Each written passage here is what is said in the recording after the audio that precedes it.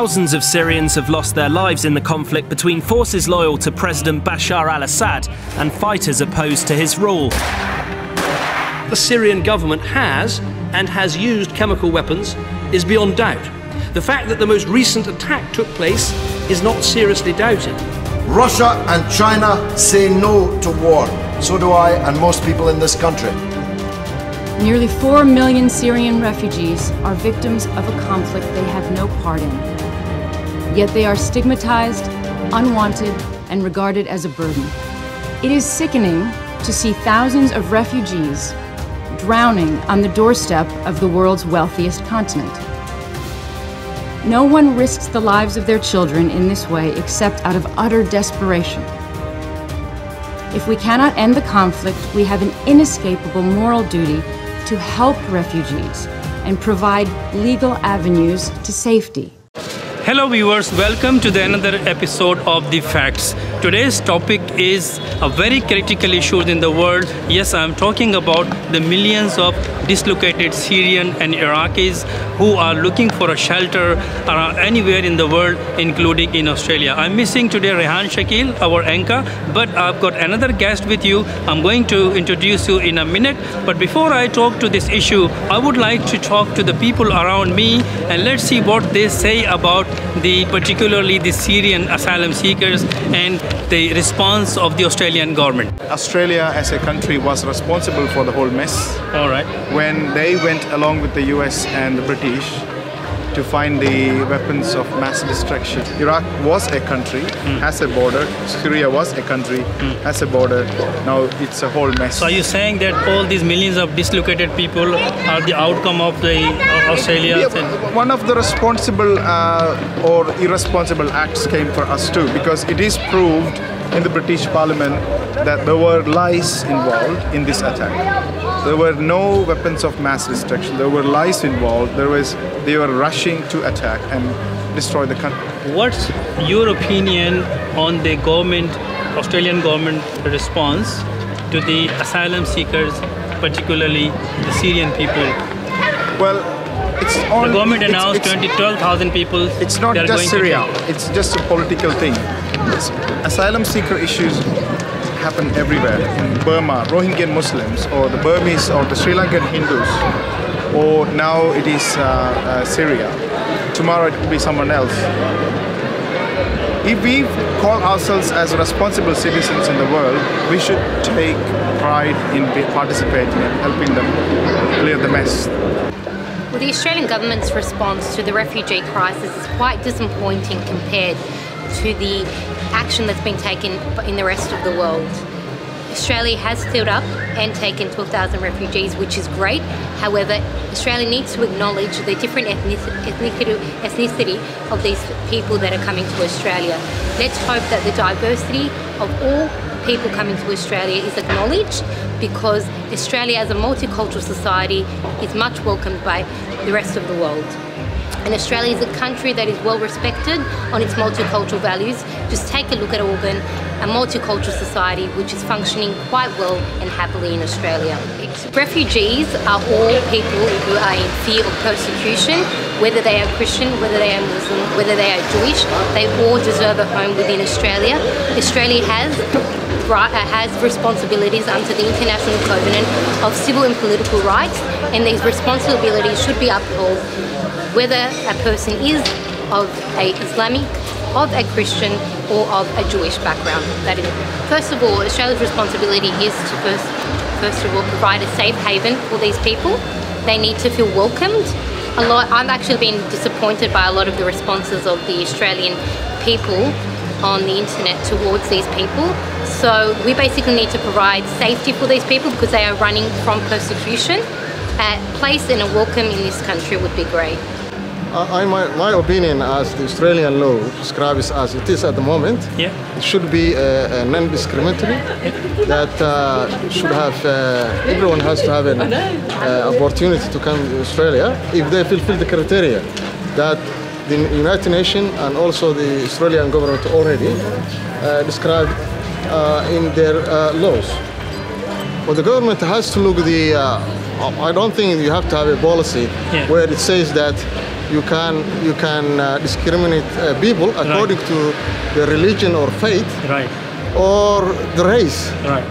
But what I believe is that if the government of Australia is trying to bring uh, refugees in this country, it has to be a non-discriminatory uh, policy, whereby uh, they have to look the needs, Right. uh, who will be uh, who are need, regardless of the religion or race. Parents pull their children out of school to search for work. Food becomes part of negotiations to marry off young daughters, or part of negotiations to release children to fight in armed groups. The situation in the Middle East is a cancer that risks spreading and metastasizing. If things continue this way, we could see future developments spin out of control, independently of our will, and with increasingly dangerous global consequences. Here with me, uh, Mr. Sayyid uh, Rahmatullah Hussaini Zada.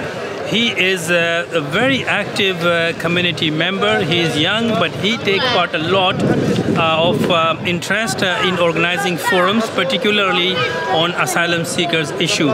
So today, uh, welcome to the show, The Facts. Thank you, it's my pleasure. I would like to ask you, what do you uh, think um, the Australian government, Abbott government response to the uh, Syrian asylum seekers, uh, dislocated people who are looking for the safe place in the world? So what's the response of the government? The government is saying they are now announcing uh, that they are taking 12,000 people, um, uh, asylum seekers in Australia, starting from maybe in December. Well, thank you for having me. I think um, first and foremost we need to d- dissect the issue of the asylum seekers. We need to dissect what the government is doing. We need to understand when it's going to be implemented. So I'm just going to give a brief fact of what's actually happening. The government has proposed to take 12,000 refugees from Syri Syrian um, uh, backgrounds, so people who are affected by the Syrian crisis, from different refugee UNHCR-led um, uh, run camps in Turkey, Lebanon, and Jordan. And uh, this 12 100,000 uh, Syrian refugees, I, as an Afghan uh, advocate, I applaud the government's uh, ambition. I applaud the government's uh, work and proposal to actually do this because the world needs uh, an urgent response to the refugee crisis. Here is here is a here, here is the question. that a lot of us as advocates and a lot of us as, as refugee people from refugee backgrounds need to ask is who is a better refugee if you're if you're looking at the United Nations Convention on on, uh, uh, on the Refugee Convention, the United Nations Refugee Convention, you see that the definition is very clear. You cannot prioritize based on race, religion, culture, or any, other sect or uh, any other involvements. You you have to satisfy the maxims that the U, uh, United Nations Convention actually provides, and once you satisfy that, then you are actually recognized as a refugee. The government saying that the Christians over there and the Yazidi, they are the most uh, persecuted uh, community uh, among those all dislocated people. Do you Well- agree with that? And that, that's why they just want to take those people in. Well, well, no doubt that the Yazidis and the Christians and the other Muslim community, uh, uh, people from uh, minorities, other Muslim minorities, are persecuted heavily in uh, in uh, in Syria at the moment. I mean, uh, the uh, the terrorism does not have a religion. Terrorists do not belong to any race, culture, religion, ethnicity. They discriminate indiscriminately that are highly, highly disregarded in Islam. It's forbidden, it's haram, it is uh, written in bold, as per se, uh, that you're not supposed to do and you're not allowed to do, and you're not the person who, who has to do, uh, who can do that, who can adjudicate such an act.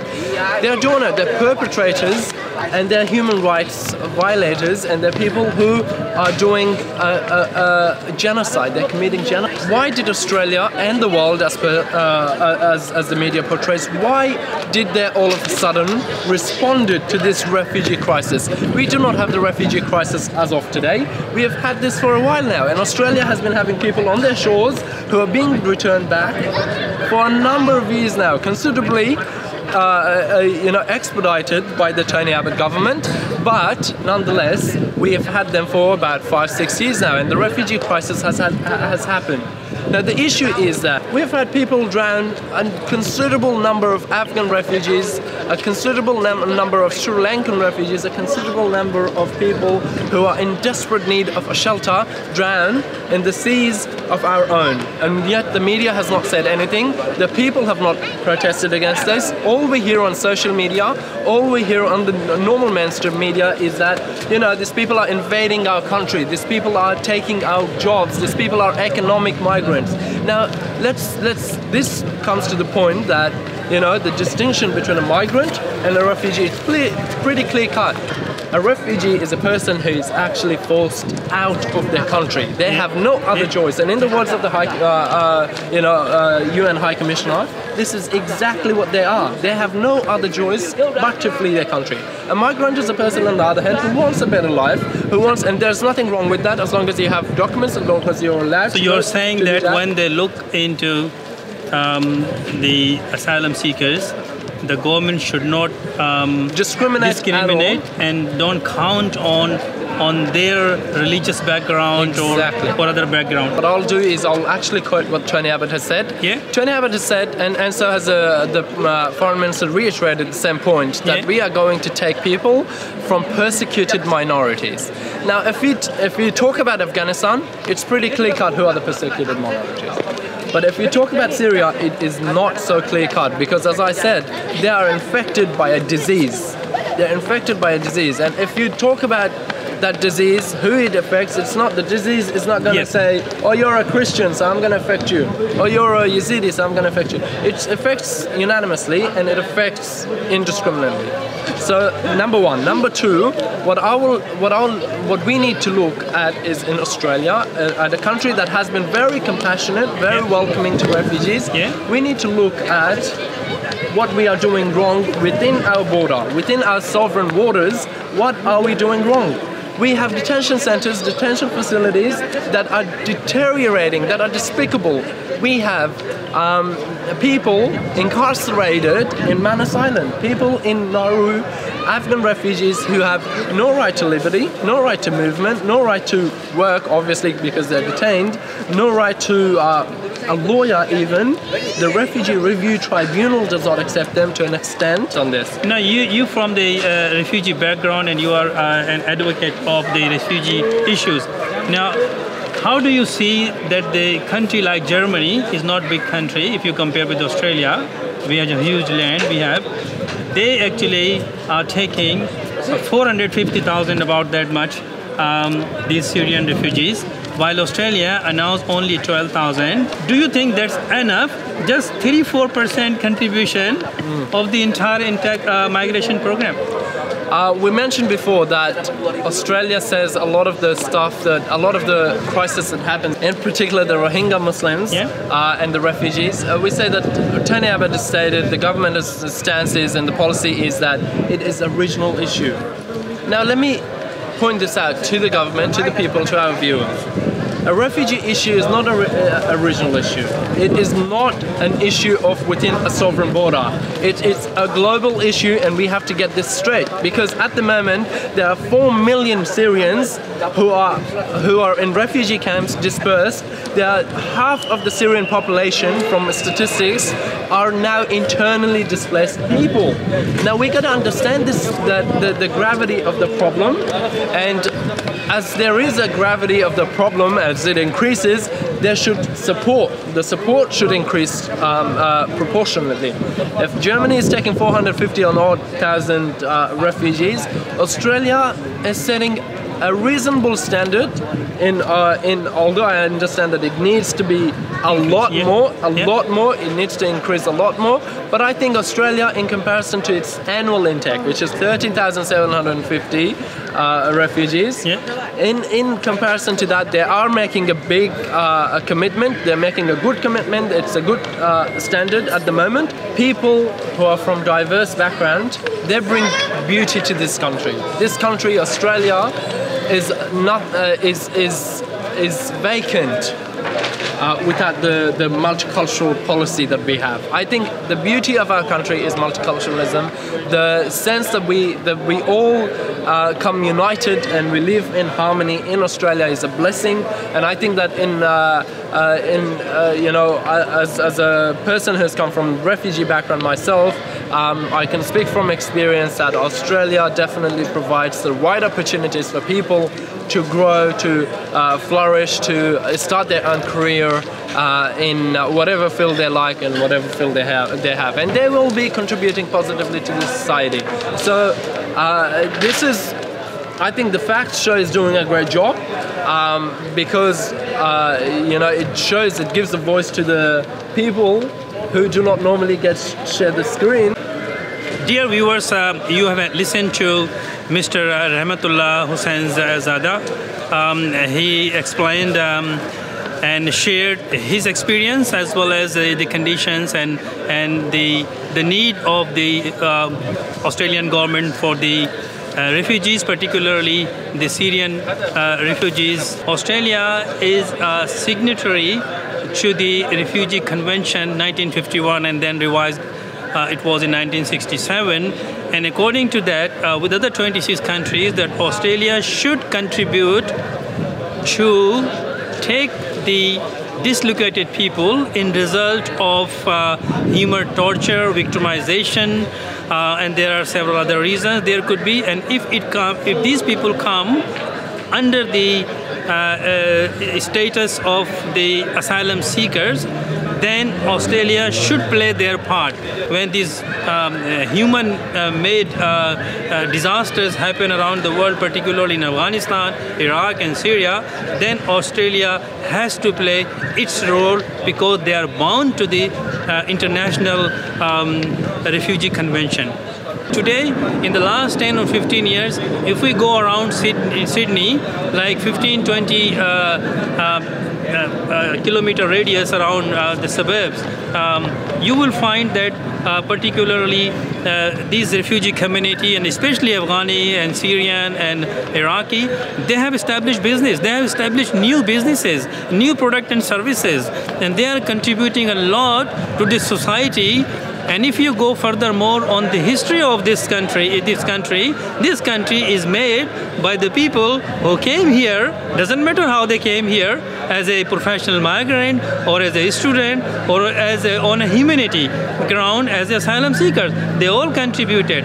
And you know, I wrote a book, um, Australia for Pakistanis, and I mentioned that uh, the people who came here, in, who were rather brought here by the English rulers in 1856 and 1860, they uh, they brought they were brought here from northern part of Pakistan and Afghanistan, and when they came here as a familiar or as a labor, they built this uh, Australia. They actually contributed their lives building the Australian infrastructure, the, the roads, the, the railway tracks, and, and today if we have the luxury of highways and, and, and, and fantastic train system here, this is because of, uh, you know, their, their contribution, uh, which we can see here. So the Australian government has to be generous and also at the same time the people, we people, we are very much settled here. We have responsibility when those people arrive here. We should welcome them uh, uh, not just by talking but practically we should help them uh, in settling down them in Australia. Thank you very much. See you until next time.